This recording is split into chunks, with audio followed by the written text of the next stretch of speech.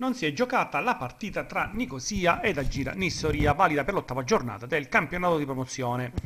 Le cattive condizioni atmosferiche e le precipitazioni che durante tutto il giorno si sono riversate su Nicosia hanno reso impraticabile il terreno di gioco.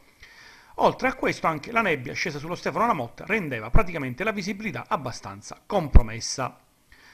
Dopo un breve riscaldamento da parte della terna arbitrale e delle squadre, alla fine il signor Dario Madonia di Palermo si è accertato dell'impossibilità di far giocare le due compagini in maniera regolare ed ha deciso di non far disputare l'incontro. Ricordiamo che l'ottava giornata era già stata rimandata al 31 ottobre dopo che il comitato regionale aveva deciso che per motivi elettorali non potevano essere disputate le partite di campionato. Una scelta a dir poco infelice, considerato il fatto che oltre a Nicosia, anche su altri campi come Fiumefreddo, Troina e Messina, si sono dovuti rinviare per il maltempo le partite in calendario. Considerando poi l'astensionismo che si è registrato in questa tornata elettorale, forse sarebbe stato meglio giocare di domenica così come in programma, evitando ulteriori dannosi rinvii.